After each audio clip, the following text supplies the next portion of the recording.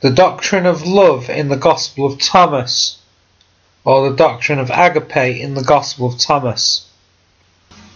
Saying 25, Jesus said, Love your brother like your soul, protect that person like the pupil of your eye.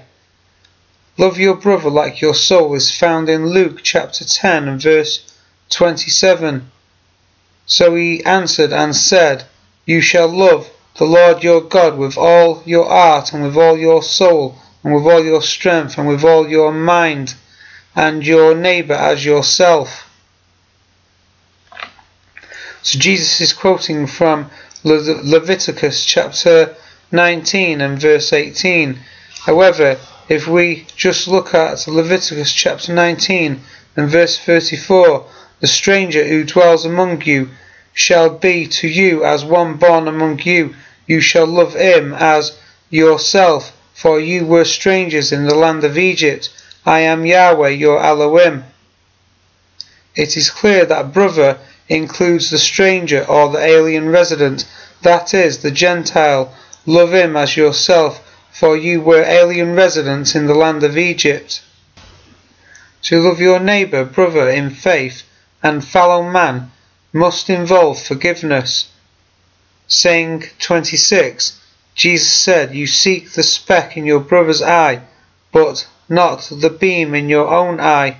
When you take the beam out of your own eye, then you will see clearly to take the speck out of your brother's eye. The meaning of this is quite clear. Do not be so quick to judge. Jesus is saying, You see the faults in others, but you do not judge yourself.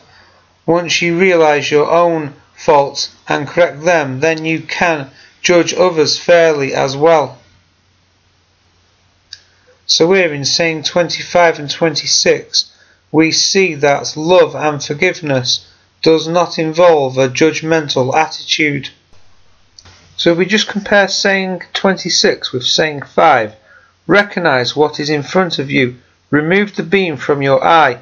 You have to be able to see what is hidden before you can help other people do so. That is, remove the splinter from your brother's eye.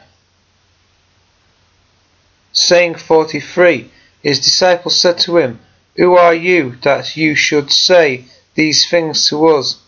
Jesus said to them, You do not realize who I am from and what I say to you, but you have become like the Jews, for they either loved the tree and ate its fruit, or loved the fruit and ate the tree.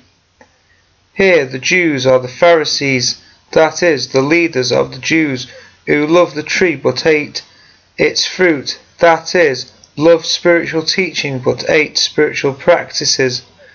What Jesus is saying here is that we must not become double minded or two faced about our faith. Saying 55, Jesus said, Whoever does not hate his father and his mother cannot become a disciple to me, and whoever does not hate his brother and sisters and take up his cross in my way will not be worthy of me. Here the word hate ought to read put aside. We have to put aside our families to become a disciple of Christ.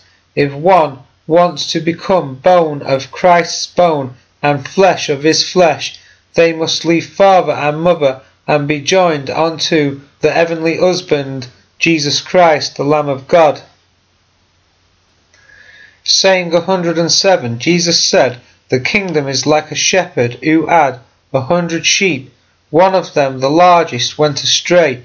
He left the ninety nine sheep and looked for that one until he found it. When he had gone to such trouble, he said to the sheep, I care for you more than the ninety nine. The word care links this saying back to saying 25, Love thy brother like thy soul. Our love for our brothers and sisters in the faith should be with tender affection, thus showing caring.